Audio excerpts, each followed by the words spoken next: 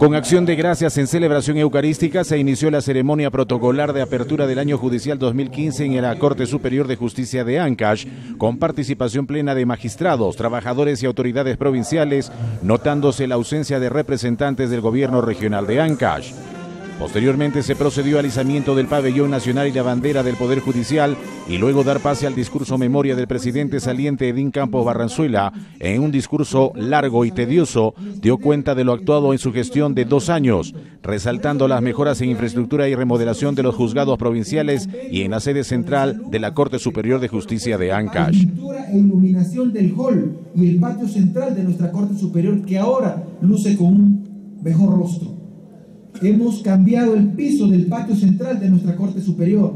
Se ha realizado el mantenimiento con intervención de pintado de la fachada principal de nuestra sede, así como también hemos acondicionado casi todas las salas de audiencia del Código Procesal Penal, tanto de Huaraz como de las diversas provincias, como por ejemplo el de Siguas, el de Recuay, que hemos acondicionado, así como también los diversos órganos jurisdiccionales de la provincia de Guay. Abraham Melquiades Vilches Castro.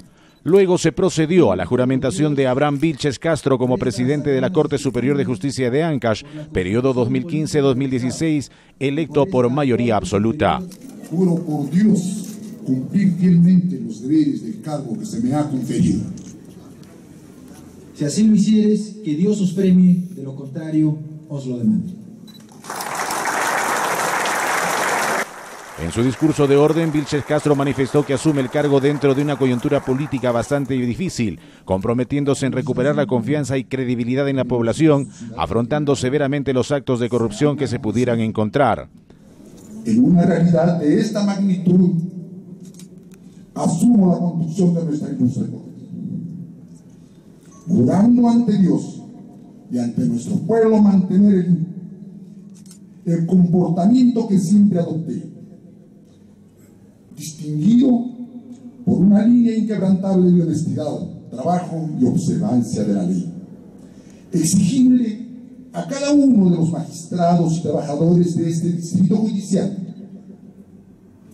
la sed y hambre de justicia manifiesta y resaltada por la población y quienes se hacen sus representantes, tengo la convicción que no será saciada sin su participación inmediata y directa, con actos ciudadanos meditados conscientemente y ejercidos dentro de sus límites de respeto de los derechos ajenos. Obligación respecto a la detección y seguimiento de actos de corrupción será cumplida con energía y perseverancia, haciendo seguimiento e impulsando los procedimientos ante los magistrados encargados de esta función.